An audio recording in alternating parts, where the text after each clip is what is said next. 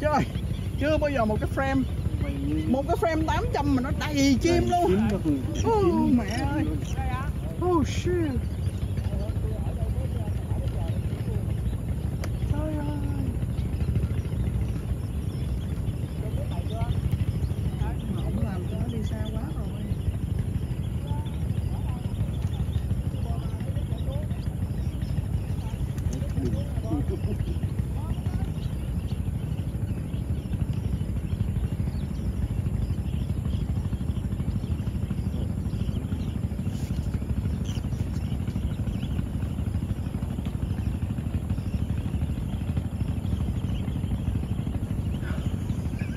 tối nay đưa hình này lên đếp chim.